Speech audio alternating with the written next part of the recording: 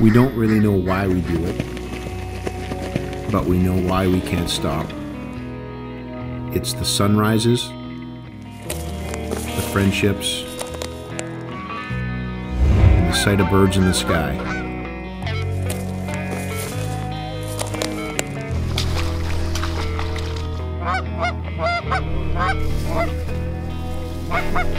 It's that first pull of the trigger, the smell of gun smoke,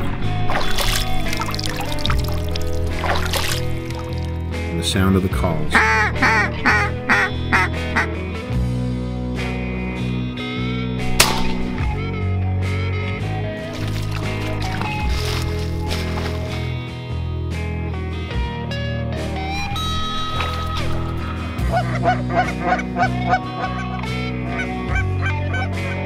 Here, take him, take him.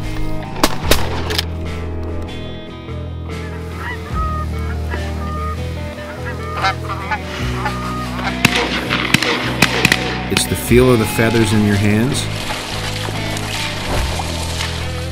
and the knowledge that once the hunt is over and the gear is packed up,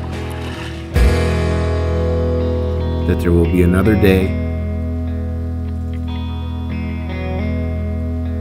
another hunt,